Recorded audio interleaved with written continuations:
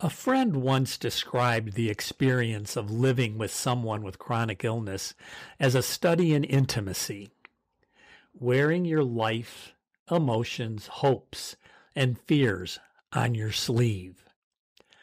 My mom, on the other hand, described it as pillow, pills, poop, and piss. I just love that. How did the Tomoffs deal with intimacy and boundaries? Olivia said it's like being a local celebrity, but not in a good way. I think of it like winning a lottery you didn't buy a ticket for.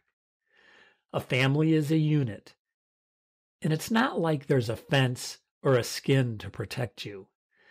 And I feel like it was almost like when you're having a baby, you all, all bets are off. You have to just get through it. I feel it was very similar dealing with a child with cancer in a hospital for as long as we did. I think we came to love our staff. We became to trust our nurses and our and, and attending physicians. And that in itself catapulted us to where we needed to be each day.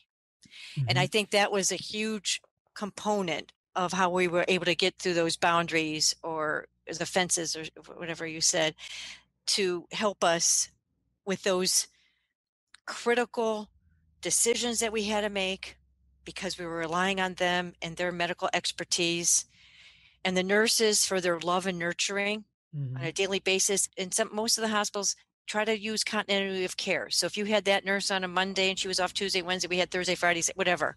Mm-hmm. And that really was a really good rhythm to be into. Mm-hmm. That it helped as families, not only us, but I noticed that on the, the rest of the floor too when you have those same nurses that you just know, they know you intimately, you get to know them, you get to know about their families mm. too, mm-hmm. because we can't just be talking about what's going on right there.